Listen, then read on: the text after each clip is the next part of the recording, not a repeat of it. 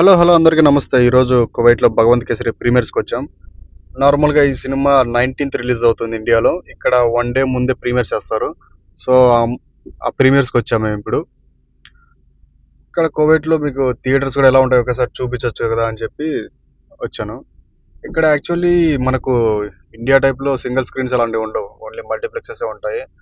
ఎందుకంటే ఇక్కడ కోవిడ్లో సినిమాలు చూసే వాళ్ళు చాలా తక్కువ.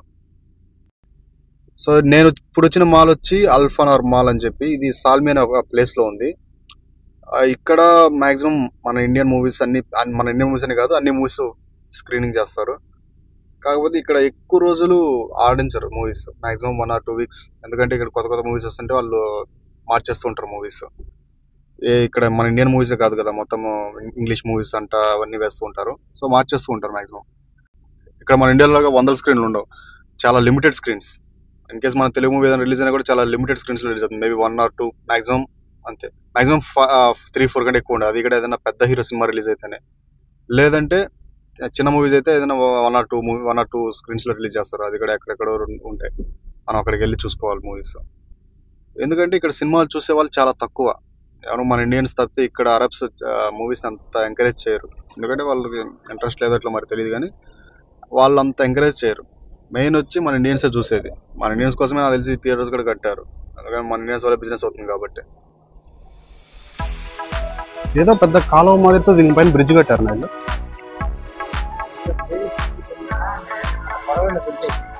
కొరమైన పెంచుతావా? కొరమైన పెంచేది ఇడికి వచ్చి పట్టుకుంటూ అమ్ముకో పట్టుకుంటూ కోసుకొని ఉందాం అనుకున్నావు అట్లా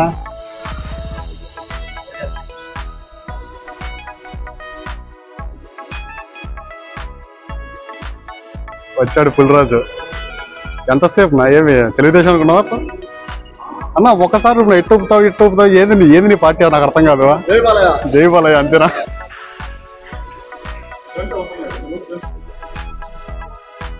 నిజంగా నేను చాలా మోసపోయా అన్న. నేను కనీసం ఆన్లైన్లో బుక్ చేసిన ఒక వెయ్యి సీట్లు ఉంటాయి అనుకున్నాను. మరి ఎంతనా? Hero hero hero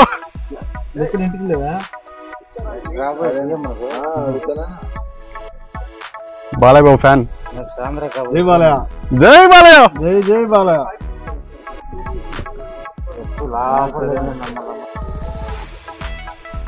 చూడనా ఎంత మోసం చేశారా? ఏ అందరూ ఫుల్ అది. ఆల్రెడీ ఫుల్ అయింది వాడు వెనకాల చేయొస్తున్నాడు? ఆల్రెడీ ఫుల్ అయింది ఇది.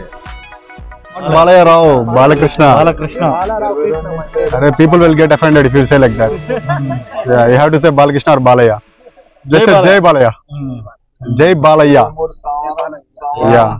Like this. Yeah, exactly. And you have to do like this. Balai Babu sexy. yeah, South Indians are uh, crazy about movies.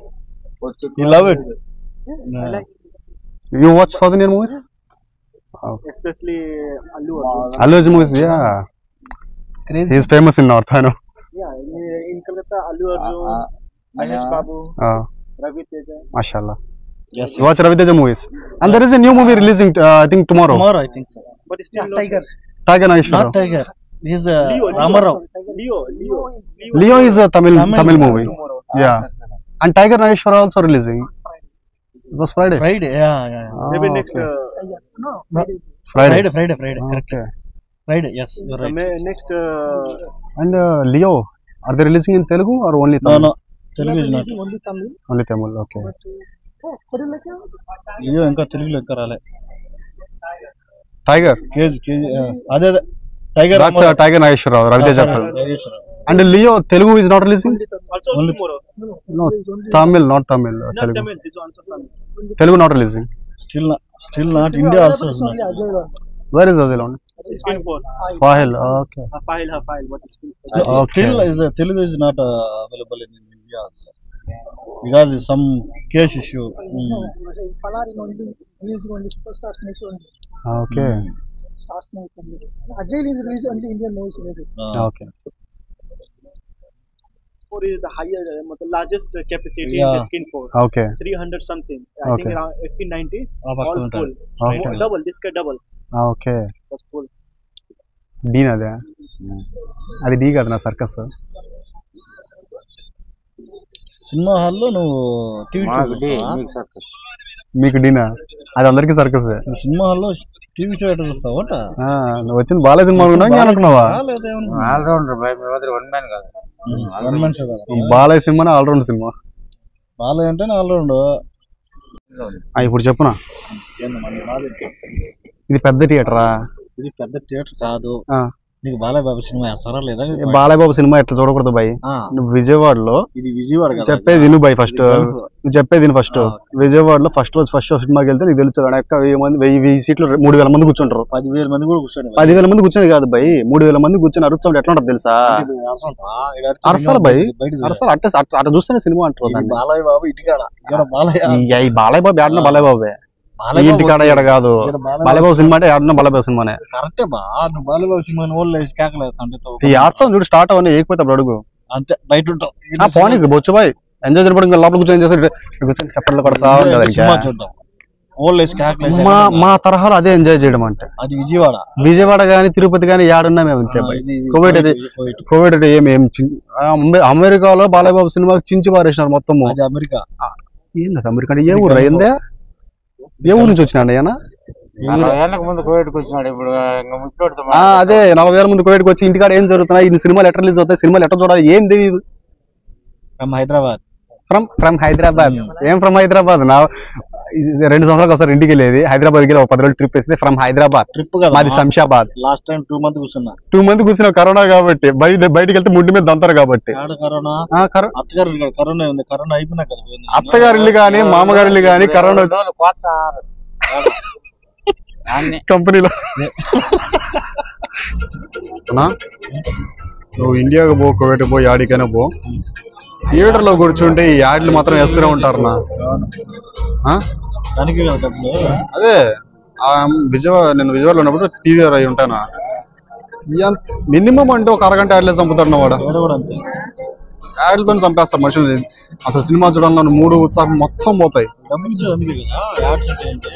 నేను అంతసేపు యాడ్స్ వేసేదా ఏం చేస్తారా నేను బయటికి?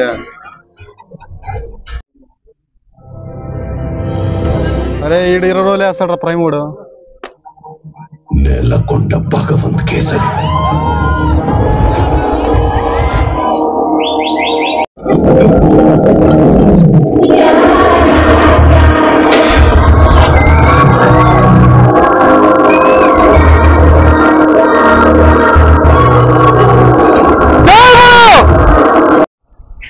సూపర్ సూపర్ తగ్గేది లేదా అయితే తమ్మను మాత్రం మ్యూజిక్ దుమ్ము లేపేసిన అండి అసలు? ఏంది మ్యూజిక్?